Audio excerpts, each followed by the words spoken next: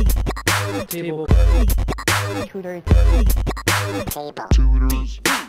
What's up everyone? DJ Wundrkut here from uh, Table Tutors. We're gonna get into uh, online scratch tutorial for the Boomerang Scratch, which I understand was created by DJ Flare of the Invisibl Skratch Piklz. Don't forget to click on the question and answer link in the description where we can practice together. In order to do the Boomerang Scratch, it consists basically of two scratches. First the slice. It starts with the fader closed and then you're gonna open the fader and then do a full baby scratch, so forward and back and then you're going to close it. So that's a slice. And then the second part is a stab. As you're pushing the record forward, you're going to tap the fader and you're going to hear one note.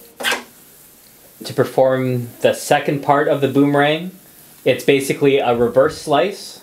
So starting with the fader closed and a reverse baby scratch and then a close and then after that a reverse stab.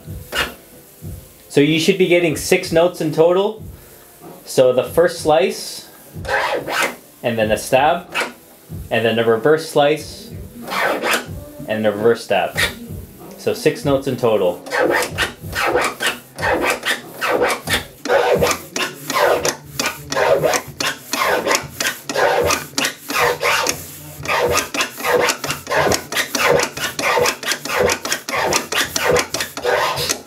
And then you can catch different timings with them as well. I just switched the fader to hamster because that's the way that I scratch. Different timings will sound like...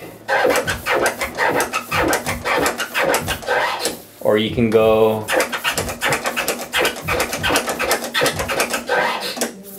And that's the uh, boomerang scratch. Don't forget to subscribe and uh, like the video if you learned something new. And thank you for watching.